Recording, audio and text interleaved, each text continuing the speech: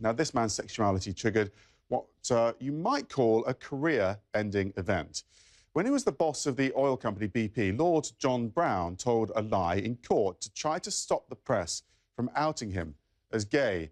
Soon, though, the truth came out, and Browne felt he had no choice but to resign.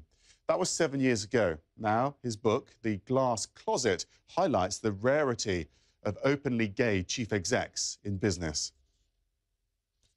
I wrote this book for three reasons. One is to uh, tell my story so no one could repeat it. I don't want anyone to do that. Secondly, and very important, rather practically, talking to about 100 people to talk about uh, case histories and role models so that people can identify with people and get confidence. And thirdly, and most importantly, uh, to write a letter to all the straight people of the world, and that's most of the CEOs, of course, because there's, I think, no openly gay CEO in the top 700 companies in the S&P index.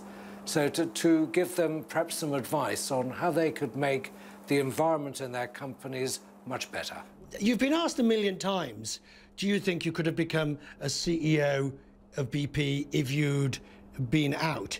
Uh, I want to turn that slightly differently and ask you, do you think you'd have been a better CEO if you'd been out? I think I would have had better relationships with people.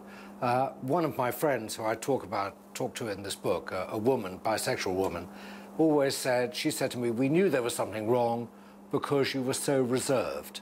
And reserved people do not share what they do outside business with other members of the team. Of course, all straight people share that. They have photographs on the desk, they have a wedding ring, they talk about the weekends. I didn't talk about any of that uh, because it was so complicated to talk about it in a way which did not make me seem gay or be gay. Your advice to chief executives is what? Because as I read your book, there are two sides to this equation. There's the leadership and there's the employee. And you need both sides to actually make this thing work. You can't have employees as victims. Uh, they've got to have confidence. But the most important thing, uh, I, I mean, I'd say this about anything, is that leaders have to set the tone. And more than set the tone, they need to say what they want and measure it. Go back and do surveys and say, how's it going? So that nobody in the hierarchy can stop their intention. In the multitude of issues on the chief exec's desk. Where do you put this? Let me say this. Uh, my experience with all chief executives, including myself, is that we spend too much time on the hard numbers, hard facts, hard strategy, and too little time on the human dimension, which is the team, the people inside the company, actually are the most important thing, and you have to spend more time on it. So, in terms of the agenda of people, which needs to be bigger in, I think, any leader's, any leader's uh, uh, sort of kit. Uh, this inclusion, including gay people, LGBT people in particular, needs to be high on the agenda.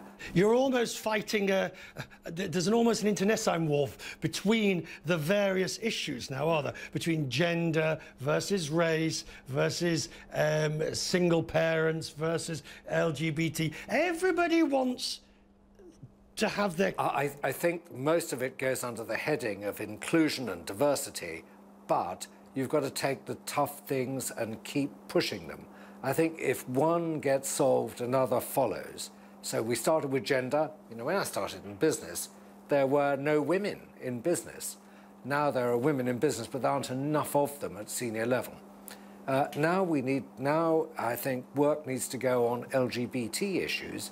And if you crack that, if you really can make it an inclusive organization for gay people, then I think people will say, okay, you've done something which is really important and it will matter to many other uh, sectors of society.